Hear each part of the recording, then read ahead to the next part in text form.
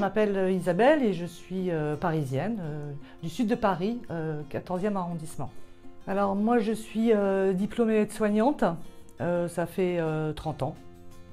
Et en plus de ce diplôme, j'ai eu une formation d'assistante de soins en gérontologie pour accompagner les personnes atteintes de la maladie d'Alzheimer.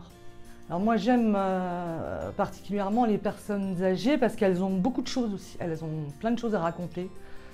Euh, elles ont une histoire de vie, euh, elles sont euh, tendres, elles sont touchantes. Et puis j'aime aussi leur apporter, moi, une aide, un accompagnement un, peu plus personnalisé, faire un Scrabble avec elles, leur proposer une, balade, les emmener au musée, partager un moment de convivialité et de, et de bien-être avec elles un, moment d'émotion, oui, avec une, personne que j'avais en charge euh, qui était atteinte de la maladie d'Alzheimer et qui ne s'exprimait plus, elle, elle, parlait plus.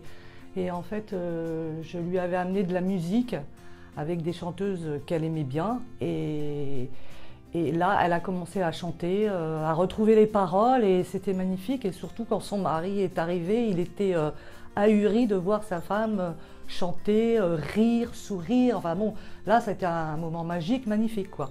J'aime bien aller au cinéma. Euh, j'aime bien, euh, j'aime bien, j'aime bien marcher, j'aime bien faire de la randonnée. Je fais de la randonnée avec mon fils.